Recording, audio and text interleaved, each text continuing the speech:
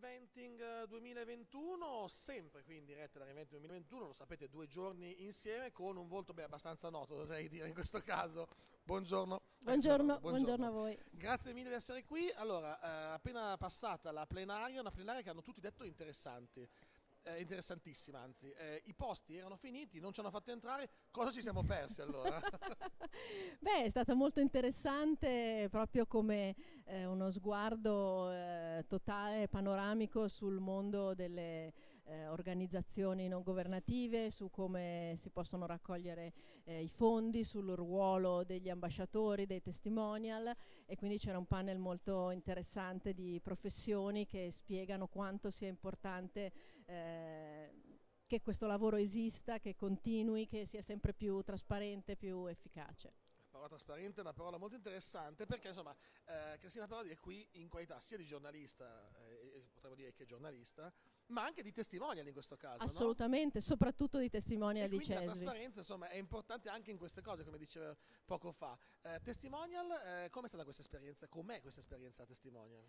Allora, l'esperienza con Cesvi continua da 30 anni, per cui è, per me Cesvi è una famiglia, è un'esperienza bellissima, io dico sempre che dà veramente un, un, senso più profondo e più importante al mio lavoro, alle mie capacità di eh, comunicare, di essere portavoce di messaggi importanti. Cesvi l'ho conosciuto davvero negli anni 90, appena arrivata a Bergamo, perché è di Bergamo, e con lui, con Cesvi è iniziata una collaborazione veramente molto eh, per me mm, felice e, e interessante eh, perché mi ha permesso di eh, vedere da vicino quello che fa, i suoi progetti, credo che il ruolo di un testimonial, io preferisco definirmi ambasciatrice di Cesvi perché questo sono oramai da tanti anni, è proprio quello di eh, andare sul campo, capire che cosa fa come lavoro, come lavora e raccontarlo nel modo più semplice alle persone in maniera tale da mm, permettere loro di comprendere quanto sia importante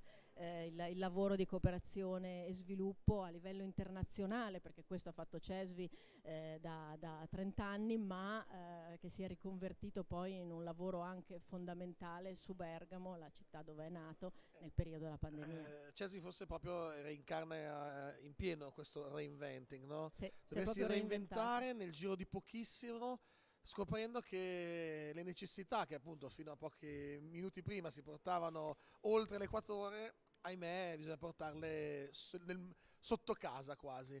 Sì. Com'è stata quella fase? Sicuramente l'avete seguita da vicino? Sì, è stata molto interessante, eh, dolorosa e difficile per noi di Bergamo, eh, però è stata una grande soddisfazione vedere come Cesvi che inizialmente eh, in tutti questi anni era una realtà molto conosciuta all'estero proprio per la bravura degli italiani nel fare questo tipo di lavoro, eh, sia stata in grado di riconvertirsi sul territorio bergamasco nel momento in cui c'era un'estrema necessità di raccogliere i fondi.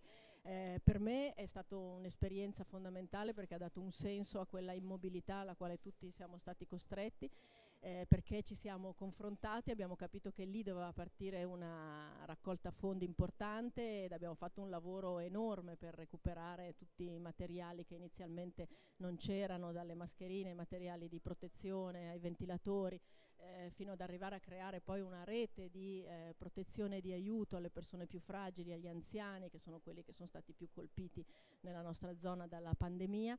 E quindi abbiamo mm, creato, eh, Cesvi ha creato veramente una rete che continua, e questa è la cosa bella, che non è finita con la fine dell'emergenza, perché l'aiuto alle persone anziane, la, la, la possibilità di fare qualcosa eh, per loro è una realtà che continua anche a Bergamo e che è utilissima.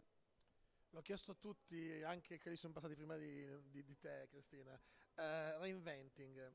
Cristina Parodi come si reinventing adesso? Eh, io mi sono parecchio reinventata perché, eh, perché ah, insomma, dopo aver lavorato per tanti anni in televisione ho mh, mm, cambiato abbastanza vita e ho creato due anni fa una, un'azienda, un brand di moda, era il mio sogno da tanti anni con una mia amica. Eh, non è stato facile, eh, anche perché abbiamo, dopo averci pensato a lungo, abbiamo esordito proprio nel periodo in cui la moda si è fermata. Però è veramente una grande soddisfazione riuscire a cambiare i propri obiettivi, a inseguire i propri sogni, a fare impresa, ha 50 anni suonati, è un'impresa tutta femminile, tutta made in Italy, totalmente sostenibile, eh, a dimostrazione del fatto che oggi non credo che esista più il senso di fare un lavoro per tutta la vita, tu hai delle conoscenze, una tua eh, background di know-how che puoi eh, eh, riconvertire, reinventare in un altro modo.